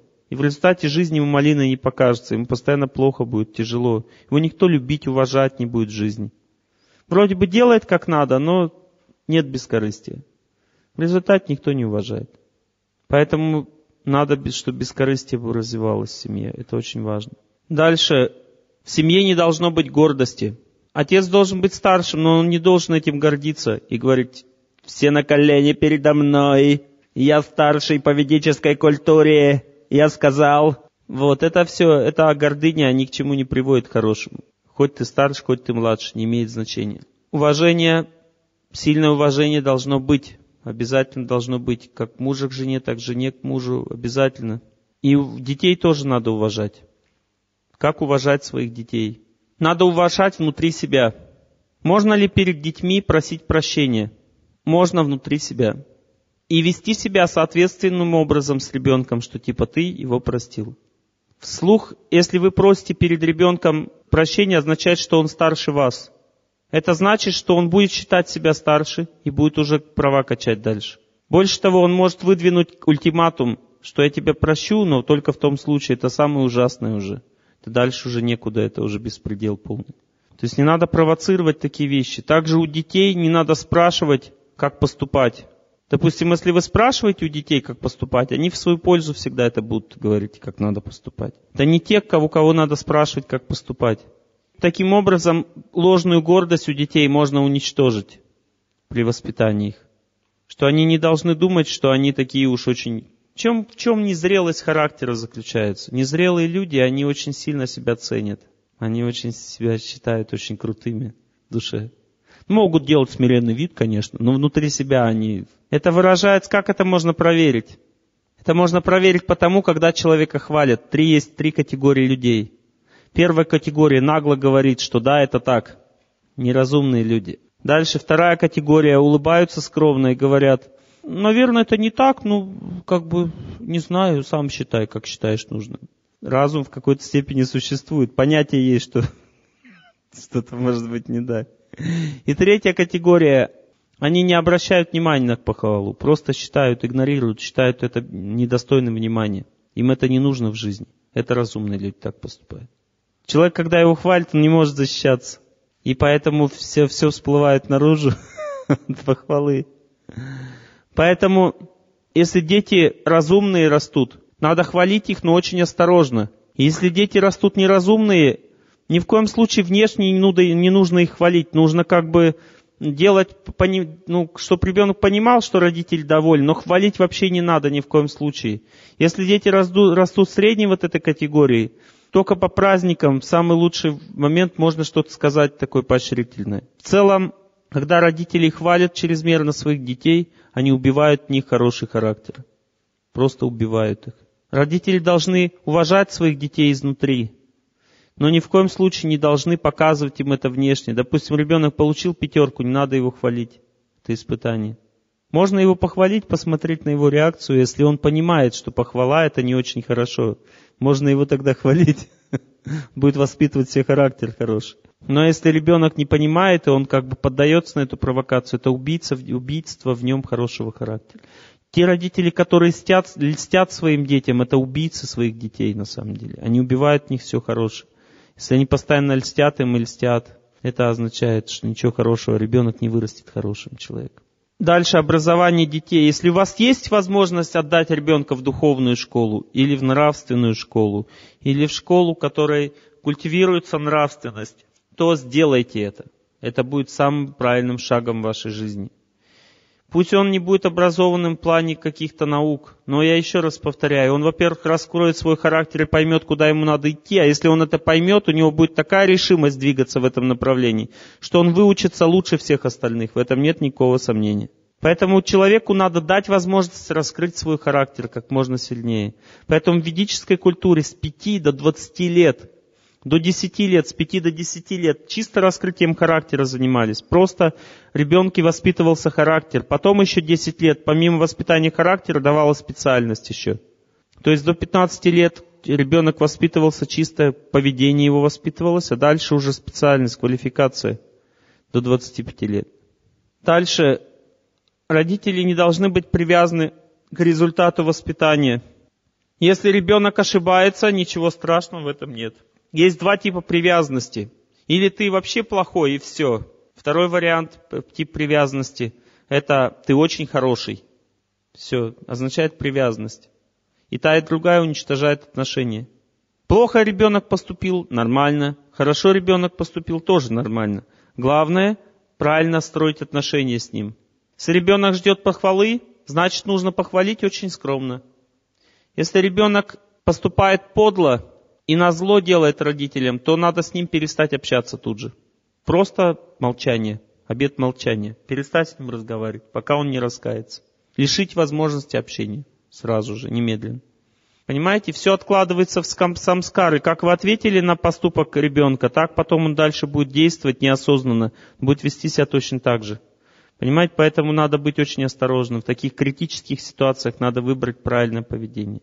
Самое главное воспитание ребенка определяет общение родителей и общение ребенка. Родители должны выбрать себе хорошее общение, дети должны выбрать себе хорошее общение. Иначе никаких шансов воспитания нормально. Независимость ребенка должна быть в принятии решения.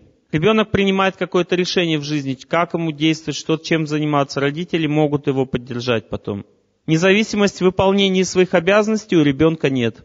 Он обязан выполнять свои обязанности. Если он кушает, значит, он должен как-то участвовать в приготовлении пищи. Если он спит, значит, он должен участвовать в том, чтобы себе постель как-то там стирать или там ее, хотя бы ее просто готовить себе ко сну. То есть человек должен делать то, что он делает. Часто бывает так, что родители думают, мой ребеночек, он учится, поэтому его не надо трогать. Это значит, что он вырастет просто иждивенцем, он будет думать, что ему все должны за, ним, за ним бегать и плясать. И это очень ужасно на самом деле. Поэтому дети должны обязательно участвовать в процессе уборки квартиры, приготовления пищи и так далее. Если они этого не хотят делать, значит это бездарные дети. Они не способны к ничему в жизни будут. Их надо приучить служить близким людям с самого рождения. Ребенок должен, в этом это главное воспитание, он должен учиться служить. Если он не будет слугой, кем он тогда будет? Эгоистом просто вырастет, и какой толк его квалификации, никакого толка. Независимость в воспитании детей. Независимость должна быть от нецивилизованного общества. Надо понять, в чем заключается нецивилизованность нашего общества. Наше общество считает, что самое главное для ребенка это квалификация, а не характер. В этом надо быть независимым от мнения общества, потому что эта зависимость от его мнения не приведет, не принесет счастья.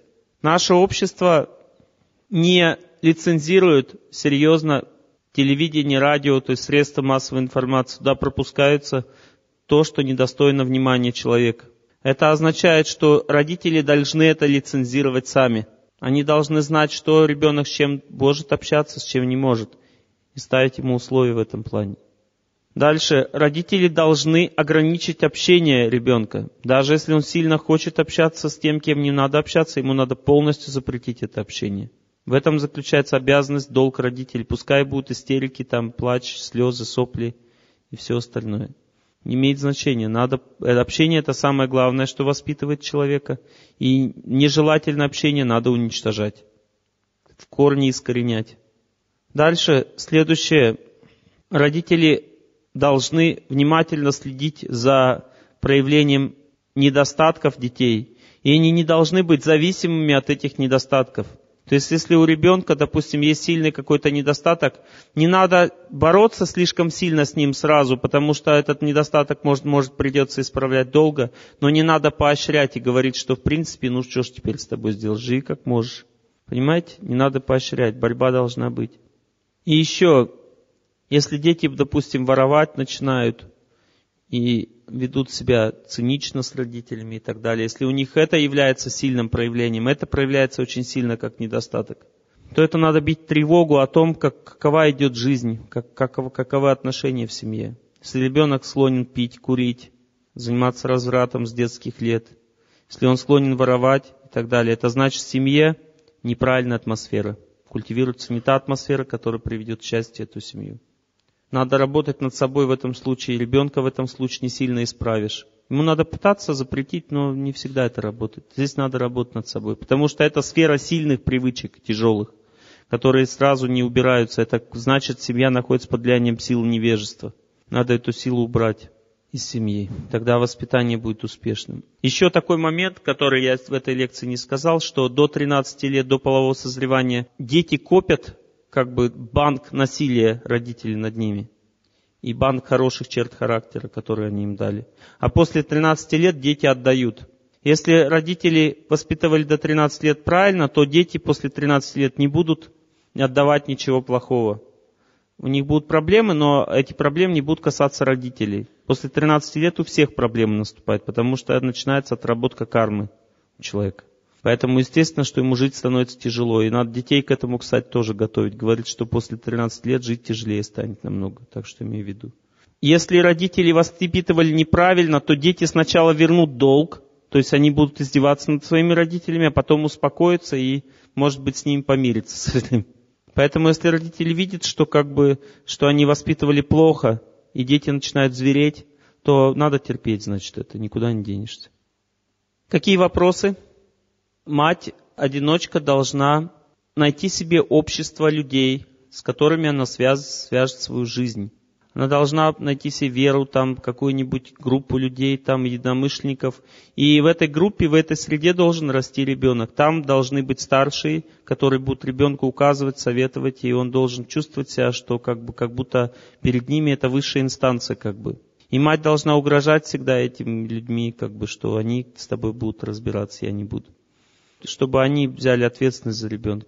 Если отец воспитывает один детей, то точно так же он должен иметь какое-то какое общение. И девочку, конечно, лучше всего, если он будет воспитывать с помощью общения с женщинами какими-то знакомыми, которые будут в семье, допустим, учить эту девочку. Как она должна видеть, как правильно жить, себя вести.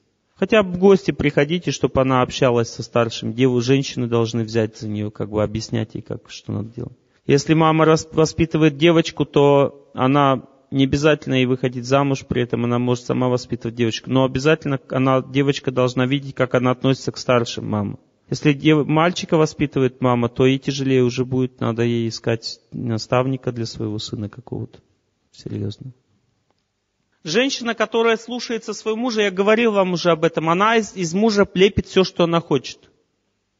Ну, хочешь, чтобы он говорил так вот, что, что он палач, он будет говорить, что он палач. Если жена хочет, чтобы он говорил, что он не палач, значит, будет говорить, что он не палач. Все. Если жена не может вот изменить с, как бы в отношениях с мужем, понимаете, мужчина, он как бы мужчина свою мужскую природу проявляет чисто такую независимую, только в общениях там, в обществе, в окружении, в, в, но внутри семьи все зависит от жены. Если женщина способна быть сильной внутренне, она будет, муж будет вести себя так, как положено. Как ему положено себя вести, он так и будет себя вести. У женщины есть столько сил на повлиять на мужа. Она может сплакнуть, там, может пожаловаться на свою несчастную жизнь, там, может слабость почувствовать, в конце концов, усталость. Еще столько возможностей всяких, и все они безотказно работают, никаких шансов что-то противостоять. Если это мальчик, мальчик, да, если девочка над ней издеваются, родители должны устроить в школе серьезную, так сказать, то есть они имеют право наказывать этих детей вообще. Наказывать, но лучше всего привести родителям, показать этих, к им родителям, прийти с этими детьми и сказать, что было так-то, так-то, что будем делать. Родители говорят, мы накажем, если не подействовало, опять то же самое происходит, то тогда не надо даже водить, просто наказывать самим и все. Можно отщелкать там при всех этого ребенка. Без проблем. Но сначала родители должны попытаться его наказать. Если мальчика бьют, то Два варианта есть. Первый вариант, если мальчик имеет внутреннюю силу, он может сам за себя поставить, лучше дать ему эту возможность сделать. Пускай ему синяк под глазом будет, но зато он будет уже крепким парнем. Если у него такой возможности нет, там коалиция целая, как бы, и над ним издеваются систематически, то есть несколько человек, то надо коалицию эту разбивать. Родители должны серьезно вмешиваться в школьную жизнь детей. Надо прийти там и устроить переворот. Нет проблем. Да? Значит, первое, что следует знать, если у женщины есть ребенок, и она выходит замуж заново, то это значит, что непреодолимая карма, непреодолимо тяжелая карма идет через этого ребенка. Первое, что надо знать, жизнь, как бы отношения этого ребенка с, с мужем, они не могут быть по определению сильно хорошими. Если они нейтральны, это самый лучший вариант. Чаще всего они бывают негативными. Почему? Потому что ребенок отрабатывает плохую карму его прошлого брака – он заставляет ее быть несчастной, свою мать, потому что она захотела сама такой судьбы несчастной. Если такое происходит, то надо здесь капитулировать надо перед ребенком. То есть надо строить отношения такие, какие он диктует. Допустим, если он хочет, чтобы у него с ее мужем были отношения, допустим, нейтральные, чтобы он ее, его не трогал и, и так далее, значит, надо пойти на это и постепенно начать дружить потихоньку, дружеские. Вообще, как бы мужчина, когда он входит в семью, то есть это значит войти в семью, то есть он должен построить с детьми дружеские отношения сначала. Если они, когда в нем отца признают, тогда он может себя по-отцовски вести. Другого варианта нет. Если он сам дик, диктатуру наводит, то будет просто ужас. Эти дети озвереют просто, они будут уничтожать все. Мужчина должен сначала заслужить доверие, и женщина, чтобы он заслужил доверие, должна очень сильно служить ему, подчиняться, учиться ему. Дети тоже будут видеть так, и постепенно их сознание поменяется.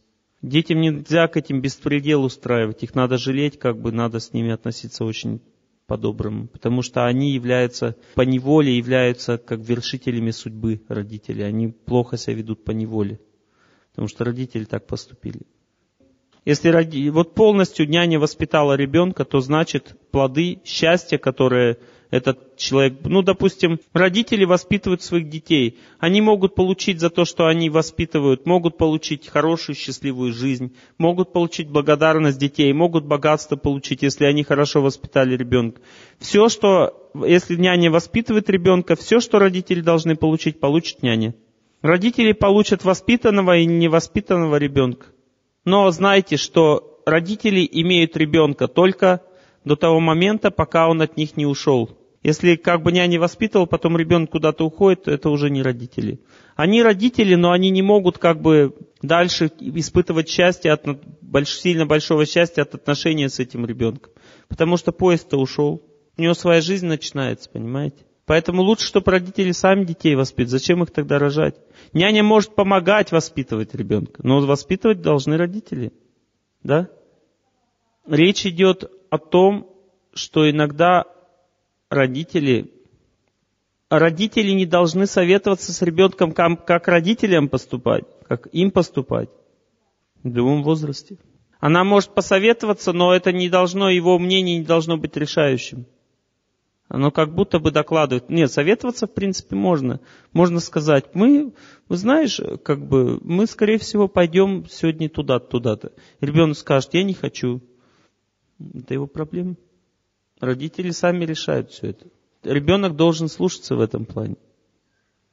Потому что он сам себе же на жизнь не зарабатывает. Как он может диктовать, чем родителям заниматься? Но у нас уже не те дети. И иногда, если дети очень упрямые, можно как бы втихаря так отступить. Да? С самого начала вы должны понять, вы родители этому ребенку или сожители.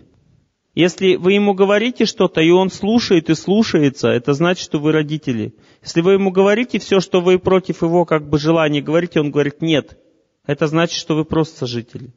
Если вы сожители, а не родители, то что вы сделаете? У вас нет вариантов, он все равно останется в дворе. Поэтому как бы здесь тоже надо понять, если вы упустили ребенка, вы не можете его воспитывать, он живет как хочет, он не слушается. Это значит, что сейчас придется вести себя так, как придется себя вести. Ну куда деваться, если он уже употребляет наркотики, не хочет бросать, ну убить его что ли. Надо просто терпеть, деваться некуда. Но если это взрослый ребенок, очень взрослый, то надо его отправить в мир, где люди живут. Он не должен сидеть на, на родительской шее. Это очень плохо. Имеется в виду мальчик в основном. Нужно понять реальную ситуацию, диагностировать реальную ситуацию в своей семье. И плохая семейная карма не отрабатывается за, за один день, иногда даже не отрабатывается за один год.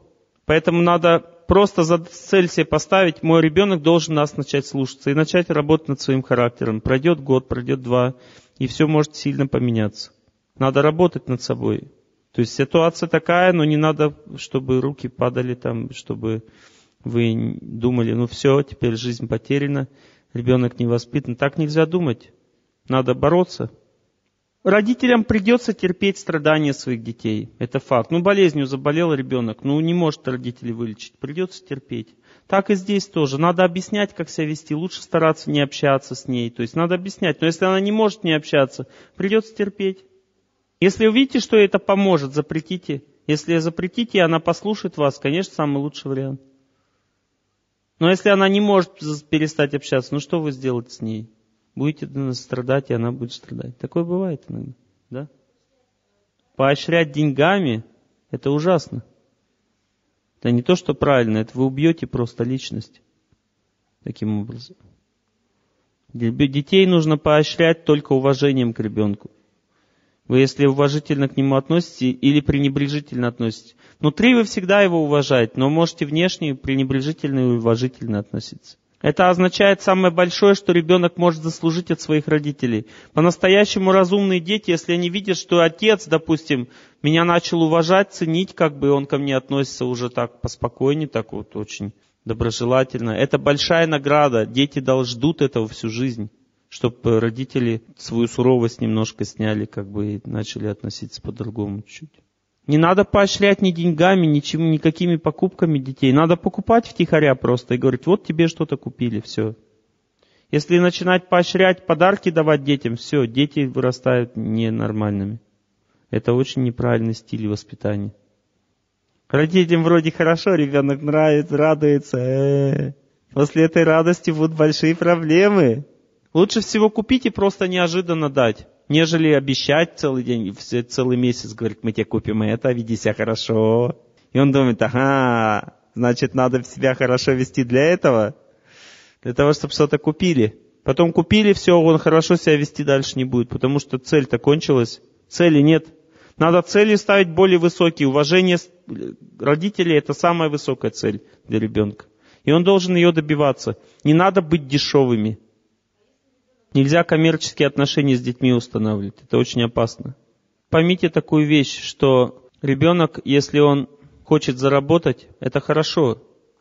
Но он должен отдавать деньги в семью, пока он ребенок. Когда он уйдет, пускай делает все, что угодно. Пока он в семье, пускай питается. Если он свои деньги хочет иметь и скрытно с деньгами обращается, это самое ужасное. Если он хочет иметь деньги и хочет пользоваться ими скрытно, разум его будет по нулям, этого человека. Потому что это означает, что он не понимает идею, в чем заключается воспитание. Речь идет о том, что человек скрывает, что у него есть деньги. Или зарабатывает тайком от родителей. Или приобретает как-то по-другому деньги тайком. Это значит, что он бездарь просто, несчастный человек. Когда ребенок еще учится, человек учится даже, в любом случае учится, когда человек. Не должно быть лишних денег. Деньги портят человеку сознание. Он не может нормально учиться. Поэтому студент должен быть голодным. Студент переводится. Срочно требуется уйма денег, есть нечего, точка.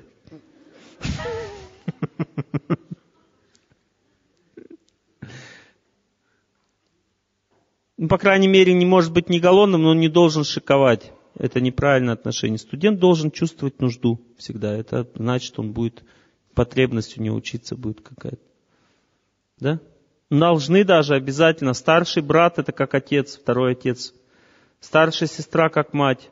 Они должны участвовать в воспитании. Должны. Их должны уважать младшие дети. В этом принцип заключается. Вечернее время, оно определенным образом влияет на сознание, и человек не может контролировать себя в 14 лет. Поэтому, если к ней спортсмены другого вида спорта пристанут, она не сможет им отказать. Такова природа женщины. Можно ее контролировать, допустим, встречать ее, там, провожать. Я не знаю, если не можете запретить. Я не знаю, как вы можете запретить. Какие отношения у вас, смотрите сами. Кто может вам сказать, можете вы запретить или нет? Только Бог. Последний вопрос, да? Если люди взрослые или не взрослые, отец всегда остается отцом. 75 лет отцу, 50 сыну, отец может побить своего сына в 75 лет. Но он имеет право, но, но он не обязательно должен это делать. Особенно при его подчиненных.